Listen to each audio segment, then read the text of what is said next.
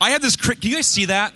I have this crazy obsession about formalizing abstract concepts. And so I want to encourage this tonight the idea that geeks and dorks are intersected by nerds. You can be a chic geek, but not a chic nerd. And why I bring this up is this, this desire of mine to formalize things. When I was a senior in college, I had a professor who asked me to. Um, define the difference between science and engineering. And so this is what I did. I was like, okay, science creates knowledge, engineering creates tools, but the important thing is we can't live without each other. Science takes knowledge and tools to create more knowledge. Engineering takes, you know, engineering and knowledge to create more technology.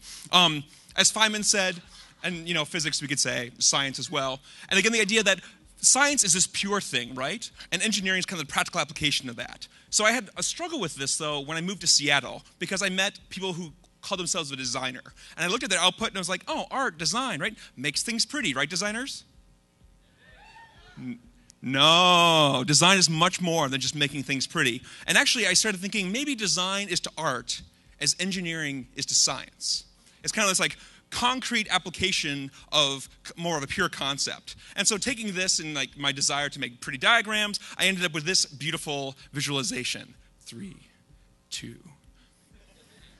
and so you can, you can really think about these things in terms of a spectrum, right? Kind of the migration from the objective to the subjective, from engineering to design, science to art, and the realm of pure to functional. And actually, I felt pretty good about this. I kind of could resolve this internal struggle I had around these four things and what they, what they mean. But I realized there was something that really bothered me. And I, like, I wanted a third dimension that kind of came from science to design. Because really, I think of science as a slightly different thing um, and separate from these three outputs. It's really about the type of thing you're producing. And I think actually, when I saw Sam Harris's book, it made me think about this because he talked about this notion of the moral landscape and how science can help us navigate this landscape. And that bothered me.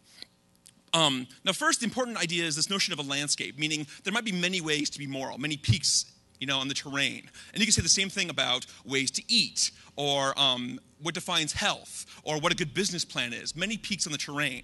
And I think this is distinct from science because you think about science, you need the ability to measure something, to find like, is this true or not? And to do that, it's not so much peaks in the landscape, it's more like a mountain. Like, is it true or not? Um, and so you can say, like, take a design, for instance, and say, well, there's 15 ways to slice this. So maybe we can measure one angle, one aspect of it. But is there one answer, one number that says, is this a good design or not? And so, really, when you think about comparing science to the other three, it's really the notion that in this kind of space of things, there might be one answer if it's science. But in design space, engineering space, art space, there are many possible paths that are correct. It's important to internalize that. Science really is unique. So I think what we need to think about is these are all creative acts. And if you ever talk to a scientist about the work they do, they'd be very creative about finding the answers they're pursuing. But in the end, it seems self evident. How could it be anything but what it is? But when if you're an, an artist, an engineer, a designer, really it's about creating something novel. So I think we should think about science as the canvas we play on, right? It's the constraints that we have in the physical world. Knowing the speed of light is a great thing because we stop trying to make our processors faster by trying to make the electrons move faster. It just isn't possible. Compare this to art, though, and really it's this notion of the purely subjective in its purest sense. Now, is this obscenity or is this art? It depends who you ask. You know, I know it when I see it, is the famous quote, right? And so for us to try to pin down with some objective measure, like how to define the goodness or badness of a piece of art, is really difficult. Engineering, on the other hand, is absolutely measurable. So there might be 15 ways or 15,000 ways, 15 million ways to make a plane, but in the end, is it safe? How fast does it go? How efficient is it? You can actually measure it with objective means. And so I think this really distinguishes the difference between art and engineering. And design is this wonderful combination of these two. Like, not only does the car have to be fast, not only does it have to be safe, but does it, in some abstract sense, remind us of the old cars? The guy who buys a 2011 Mustang still thinks he's buying a Mustang, right?